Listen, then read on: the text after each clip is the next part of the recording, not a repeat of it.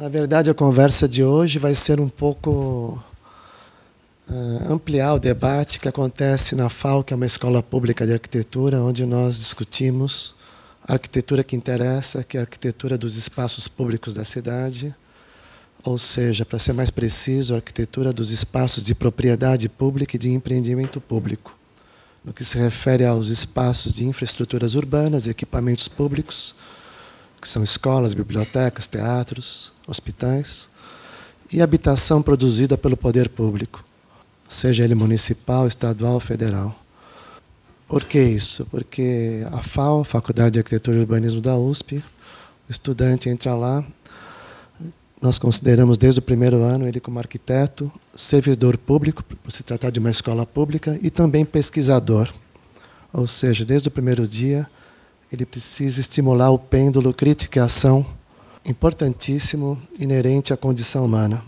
Fazer e saber o que está fazendo. Essa dimensão da arquitetura que interessa, que é a arquitetura da cidade, é extremamente importante para o debate referente à construção coletiva dos espaços da cidade, que se refere a três perguntas importantíssimas nessa sequência, na primeira pessoa do plural. A primeira é como é que nós vamos usar, a segunda é como é que nós vamos manter, e a terceira é como é que nós vamos construir. Isso é muito importante. Não são eles, ou eu. Não é como eu vou usar, como eu vou manter, ou como é que eu vou. Ou eles vão. Geralmente é assim: como é que eu vou usar, como é que ele vai manter, como é que ele vai construir. E sim, nós. Primeira pessoa do plural, isso é muito importante. Então, para um estudante de uma escola pública de arquitetura que tem, não sei se vocês sabem, as cores da arquitetura, Acho que hoje eu estou fantasiado com isso. É azul e verde. Podia falar assim: azul das águas dos rios, que nós poluímos, transformamos em canais de esgoto a céu aberto. As árvores que não tem na moca, como a Fabiola disse. Ou então os rios que nós invadimos, aterramos, loteamos e vendemos, como aqui, né? Toda essa região dos jardins era o leito maior do Pinheiros. Então, esse saque sucessivo dos espaços públicos da cidade, fomos nós que fizemos, não foram eles, nessa autoria coletiva. A cidade, de todas as artes, música, literatura, teatro, artes plásticas, é de fato a obra de arte mais extraordinária da humanidade, né? dos homens. É uma obra de arte aberta, no bom sentido, inconclusa no bom sentido, inconclusa no sentido de estar com a mão estendida para a transformação. Coletiva e obra aberta, porque coletiva feita com nós que estamos vivos ao mesmo tempo, mas por aqueles que já não estão mais vivos e por aqueles que virão. Né? Então é importante falar para um estudante de arquitetura, que somos todos nós, já que a construção da cidade, da arquitetura da cidade, é uma construção coletiva que não se restringe aos arquitetos formados, todos são arquitetos para isso, né? precisa ter essa, essa perspectiva de inconclusão, no sentido positivo do, termo. Como essas, hoje que se fala muito com tecnologia da informação, que é programa de código aberto, né? programa de computador de código aberto. E de fato é. Importante ter essa consciência, porque se tudo aqui, por um outro lado, não passa de um acampamento improvisado, as cidades brasileiras não passam de um acampamento improvisado, sobretudo São Paulo. Aliás, metrópoles como São Paulo é um retrato cru do desequilíbrio das redes de cidades brasileiras. Né? Então, se isso não passa de um acampamento improvisado, não podemos nos enganar com espelhos refletidos ou malabarismos estruturais, né? uma pretensiosa, presunçosa eloquência do talento autoral individual daquele que se acha diferente do outro, porque não passa de um acampamento improvisado isso. Nós podemos mudar tudo que está aqui. Se os rios urbanos não passam de canais de esgoto a céu aberto fedorento, uma gosma que mal flui, o que se tira dos rios é o retrato de nós mesmos.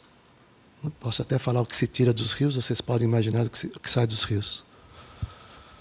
pior do que isso, se eles estão emparedados por rodovias urbanas, rodovias urbanas, pior do que qualquer muro de Berlim, pior do que qualquer faixa de Gaza, que faz com que as cidades brasileiras, sobretudo São Paulo, fiquem de costas para os rios, fomos nós que fizemos. Não foi Deus nem presidente, fomos nós. Dentro da nossa fragilidade institucional, da construção da coisa pública, ou com outras palavras, da nossa fragilidade institucional da República Democrática Participativa, que é um projeto que ainda nós não conseguimos amadurecer. Não pode se falar de arquitetura da cidade sem falar da construção coletiva da coisa pública, nesse aspecto. A cidade é o nosso lugar para morar. A cidade é a casa. Vários arquitetos, eh, professores falam isso. Posso citar nosso querido professor aqui que projetou o prédio da FAO, Vila Nova Artigas, que falava que a cidade é a casa e a casa é a cidade. Mas, com outras palavras, vários outros arquitetos falam isso há mais de 120 anos. Mais de 120 anos, final do século XIX, não tem outro lugar para os homens, no plural, a não ser a cidade. Não tem sentido você achar que a casa se restringe às quatro paredes e um teto, à soleira da porta. A casa é o metrô na frente da porta, é a vista do parque fluvial, do rio urbano, através do janelão da sua casa. Né? A casa é a escola, a, escola, a casa é o hospital. E a casa é a cidade como centro de produção do conhecimento. Dessa obra de arte inconclusa e aberta nos últimos oito mil anos, sistematicamente sendo construída e lapidada, oito mil anos de história das cidades. Dessa obra de arte coletiva acertos e desacertos, é, faz com que a gente perceba que a, a única casa nossa é a cidade e que a perspectiva que a cidade é o maior centro cultural da humanidade é porque se nós inventamos esse jeito de morar, que é uma natureza, uma natureza construída bem diferente de natureza virgem, faz com que as cidades precisem ter esquinas culturais. A cidade é a nossa casa e a cidade ela educa, a cidade forma as pessoas. Precisamos discutir a partir de que, for, de que tipo de formação. A gente pede para os estudantes lerem alguns textos lá na FAO.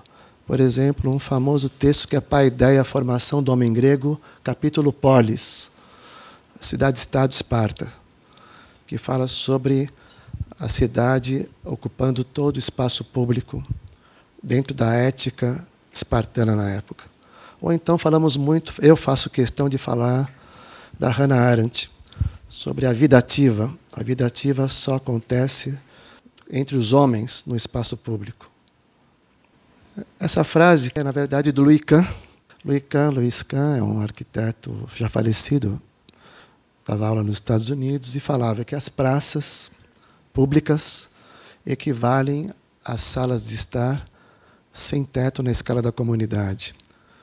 Aquilo já armando todos os conceitos que começaram nos anos 60 com mais força, que são conceitos de retorno à cidade, de uso misto da cidade, de morar e trabalhar perto, que em holandês são dois Ws, que eu não sei pronunciar holandês, mas seria Woninwerker. Me, me, perdoe, me perdoem quem sabe falar holandês, que não sei se é Woninwerker. Morar e trabalhar perto significa da maçaneta da porta do seu apartamento, a maçaneta da porta da, sua, da sala de aula, da escola ou do escritório, você leve praticamente 20 minutos, no máximo 30 minutos caminhando, ou de bicicleta, ou certamente com o transporte público coletivo, de preferência sobre trilhos, que é uma máquina de ordenar o território urbano. Então, isso é uma coisa importante porque esses conceitos uh, de urbanismo lento, de rua viva, de infraestrutura leve, que eu posso até falar um pouco do que significa isso, uh, ou mesmo de esquinas culturais, que é reconhecer que as cidades são grandes centros de produção do conhecimento, as esquinas culturais são esquinas de encontro, convivência e confiança. Mas eu queria destacar para vocês que essas esquinas culturais múltiplas da cidade desejável à cidade lenta são esquinas culturais de encontro, convivência e confiança das diferenças, não dos guetos. Então, as esquinas culturais seria, na verdade, a matriz do urbanismo lento, que promove o caminhar, o pedalar, pelos passeios públicos, esses que devem ser arborizados, que devem ser espaços de convite e recepção, para entrar nos equipamentos públicos de formação do cidadão.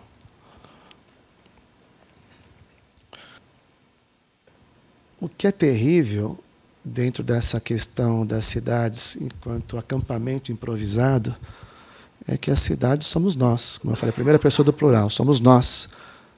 Uma diferença muito clara entre natureza virgem natureza construída.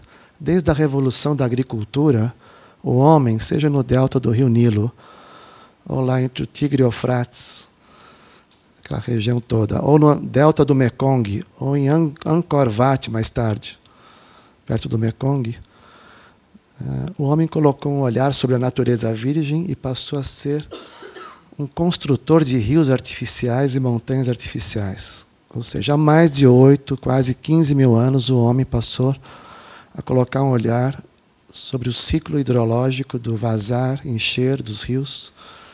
Percebeu que a natureza virgem formava canais laterais, canais de derivação, deltas, e passou a construir, ou inventou a palavra canal. A obra de arte da humanidade mais antiga é o canal. Isso é importante dizer junto com a invenção do tempo cronológico. Tempo cronológico, é uma invenção nossa. Então, falar de urbanismo lento, como eu falei aqui, é um exercício cotidiano. E a segunda questão, sobre a questão do tempo da cidade, é fazer um exercício de desaceleração da percepção de como que a gente passa pelo tempo. Se a, desde a revolução da agricultura o homem passou a ser um construtor de rios artificiais e construtor de montanhas artificiais, ele inventou o tempo cronológico e acha que o tempo que passa, mas na verdade o tempo não passa, quem passa somos nós. Eu particularmente insisto para os estudantes dessa escola pública de arquitetura a entender que quem passa somos nós e não o tempo. Tempo cronológico, Deus, dinheiro, e assim por diante, objetos físicos e abstratos, fomos nós que inventamos para aplacar nossa angústia, desespero e solidão, como diria Will Eisner. Como o nosso capitalismo está mais do que selvagem, que produz essa sociedade de consumo inconsequente, abduzida, a serviço de uma situação terrível, que é a questão desse urbanismo do mercado e do automóvel, urbanismo mercantilista e rodoviarista, nós precisamos mudar uma mudança de mentalidade para entender a contraposição crítica no pêndulo crítica-ação que o Anísio Teixeira, o grande educador brasileiro, dizia que da creche à pós-graduação nós deveríamos ter filosofia e arte, ou crítica e ação. Que o Paulo Freire dizia que a cidade educa, a cidade é a escola. Que a Hannah Arendt dizia que a vida ativa só acontece no espaço público. Fora do espaço público você está privado de.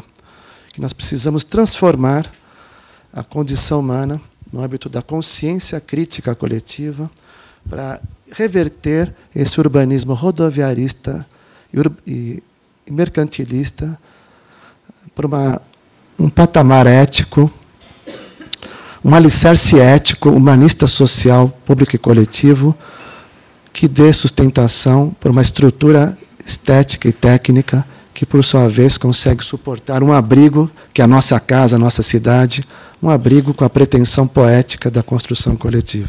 É isso que eu queria falar para vocês. Se hoje tudo que está aqui não passa de um acampamento improvisado, ao mesmo tempo, por outro lado, né, é uma construção aberta, inconclusa, que a gente pode transformar. É isso que eu queria dizer. Obrigado.